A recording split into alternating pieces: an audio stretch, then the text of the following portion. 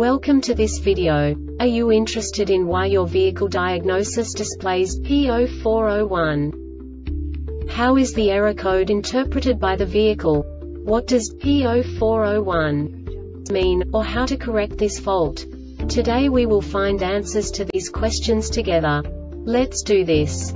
First, let's look at the history of diagnostic fault code composition according to the OBD2 protocol, which is unified for all automakers since 2000. We divide the electric system of automobile into the four basic units.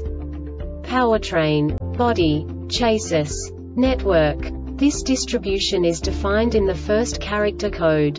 If the second character is expressed as zero, it is a standardized error.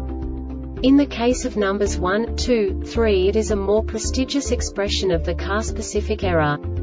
The third character specifies a subset of errors. The distribution shown is valid only for the standardized DTC code. Only the last two characters define the specific fault of the group. Let's not forget that such a division is valid only if the other character code is expressed by the number 0. Our website airbagreset.sk produces useful videos for you. You do not have to go through the OBD2 protocol anymore to know how to troubleshoot any car breakdown. You will find all the diagnostic codes that can be diagnosed in a Suzuki vehicles. Also many other useful things. The following demonstration will help you look into the world of software for car control units. You unbelievably can move the video a bit further. The error code is split into two bytes consisting of 16 bits. One bit is the basic unit that each computer works with. The bit has two logical states. 0, low level, 1, high level. By combining the first two bits, the basic character of the error code is expressed. The next two bits again determine the second character. The last beat styles of the first byte define the third character of the code. The second byte is composed of a combination of 8 bits. The first 4 bits determine the fourth character of the code. And the combination of the last 4 bits defines the fifth character. A single byte conceals 256 possible combinations. We now know in what way the diagnostic tool translates the received information into a more comprehensible format. The number itself does not make sense to us if we cannot assign information about it to what it actually expresses.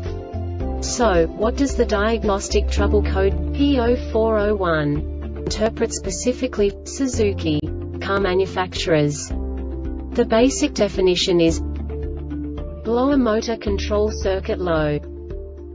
And now this is a short description of this DTC code.